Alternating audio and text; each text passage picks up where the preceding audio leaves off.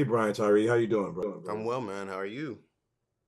My first question is like, what what is it about North Kakalaki, North Carolina, that I mean, we got Aldis and uh Aldis and Edwin Hodge and Patina Miller, Pam Grier, Zach Galifianakis, all and, and you, of course, that's bringing all these great actors out out the water. I mean, you go a little bit south, you had the late great Chad Boseman in South Carolina, but all right, what is that? What what? I mean, how how how are you guys identifying and finding opportunities in Hollywood from a city that's not necessarily known for Hollywood? You know, man, one, I think there's something in the water. Uh, that's one. And then two, I think, I don't know, when you come from a place that really let you be who you are, you know what I'm saying? When you come from a place where you have a sense of connection, it it's not hard to go out and like just be yourself and just try to find those other people that reflect you back to you, you know what I mean? Like there there's a thing about being from the south where it's like there's just an authenticity that you can't fake right like you like the south will smell you out like we'll know if you're from there and if you're not and it's always a part of you uh, but what also happens in the south is that you can always get trapped into only knowing people from the south you want to branch out you want to see other things there's a sense of exploration that happens a sense of migration that happens and i think that that's a testimony to why we're able to do what we want to do. You know, like where there's a sense of um, identity. You know what I mean? There's a sense of uh, of longing for something else as well. So you know, I don't know. I, I really don't know. I love the connection. I love the connection. I, I I just you know I never thought of it that way. I never really thought about that. But yeah, man. I mean, there's a sense of groundedness when you're from the South. You kind of got to know who you are, and you kind of got to be okay in your skin. You gotta you gotta really be able to to to be all right with with being you. Got you a nice truck. Yeah, not anymore. How long have you been doing this? Just now, I, I don't know. It's not mine. When the last time you changed the oil in it? I don't know. All right. Sorry. Hey, Santiago. Uh, you can wait inside. You got in there.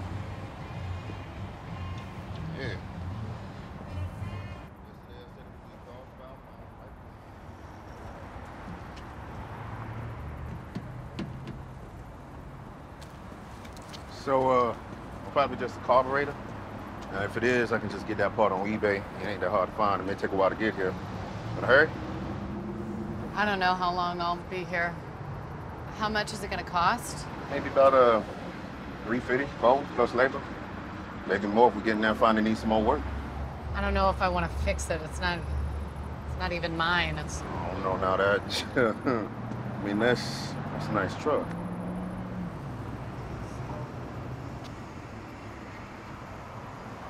Okay, how about you just um, leave it here with us? And when I get the part, I'll call you for an estimate, yeah? I don't know my number. I mean, it's just business. No, I, I really don't know my number. And and I don't want this to be taken the wrong way, but I, but Uh-oh. you as an actor, you feel like you feel more like kinship, like anybody's cousin, instead of like more glossy. Like I feel like like like black people at least look at you and relate to you like, oh, I know somebody that's that's this guy. That's Um, that's the best compliment I've ever gotten in my life, man. I have to I have to be honest with you. That's why I do it. You know, that's that's literally why I do it. I I grew up. I was raised by the television. I'm not gonna lie. Uh, you know, I'm an '80s baby, '90s kid, and uh, I was raised by the television, and I never really got to see anybody that felt like family. You know, I mean, like with the exception of like you know a different world and like you know the emergence of black cinema in the '90s and whatnot. Uh, I never really felt like there was somebody that was talking to me. Uh, and so, in sense, when anytime that I take a part, that's I, kind of what I want people to feel when they leave away.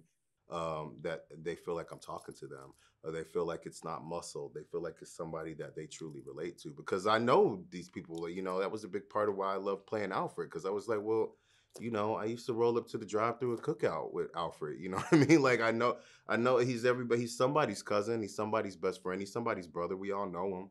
Uh, yeah. And so I just always come from a place of wanting to portray these men as people that we know. And if you don't know them, you want you should want to know them after you see them. So that's that's a great that compliment means a lot, man. You have no idea how much that just like knocked me out. I appreciate that. Speaking of speaking of Alfred, I mean, even with this script, I, I wonder like what's your process of deciding on what projects to take? Because I mean, you've you've done a lot of great projects. I mean, Beale Street, and of course, thing in Atlanta.